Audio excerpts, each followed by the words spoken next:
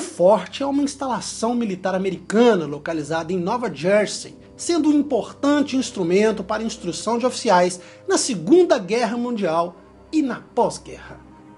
Na manhã do dia 10 de setembro, um experiente operador de radar explicava o funcionamento dos instrumentos para um grupo de oficiais quando os radares captavam um objeto em velocidade surreal que se deslocava em baixa altitude até a linha da costa. Ele até tentou rastrear o alvo desconhecido, mas a velocidade era tão incomum, bem superior às dos aviões da época.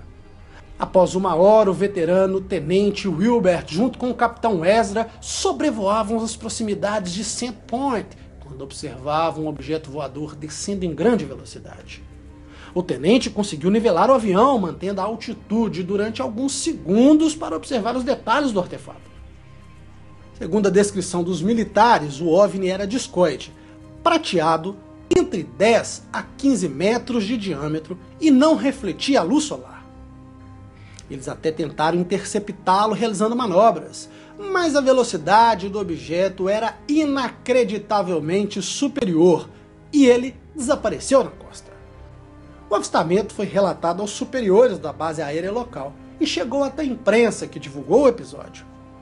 Naquele mesmo dia, os militares lançaram um balão meteorológico e solicitaram que os radares rastreassem o alvo, no intuito de determinar a altitude máxima que um balão podia ser observado.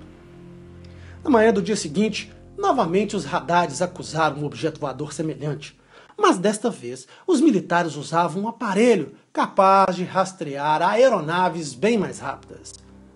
Mas diante da velocidade aquém dos padrões razoáveis da época e da irregularidade do voo, obviamente não obtiveram sucesso.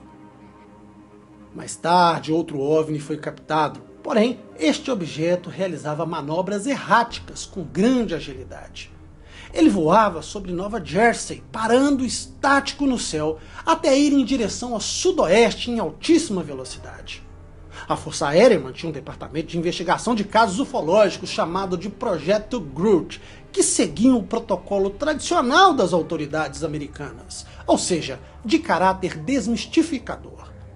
O órgão informou que as aparições eram, na verdade, balões e os avistamentos se deram por confusão mental das testemunhas.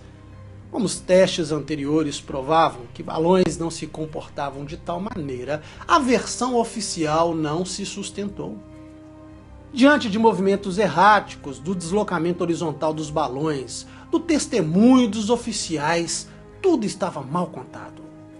Os movimentos erráticos dos OVNIs são muito comuns em casos ufológicos, até mesmo manobras, sem contar a trasladação.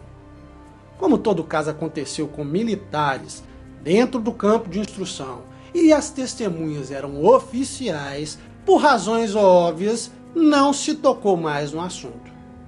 Mas o tenente nunca afirmou que fosse um disco voador, mas dizia abertamente que com muita certeza balão não era, por uma razão bem simples. Seria insano afirmar que um balão pudesse descer em tal velocidade, fugir de caças altamente velozes.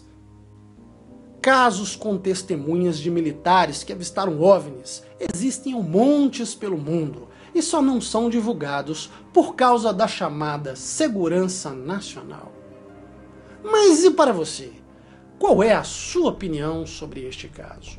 Dê like se gostou, compartilhe este vídeo para fortalecer a nossa amizade, claro, deixe sua opinião nos comentários. Esse é o canal Casos Ufológicos.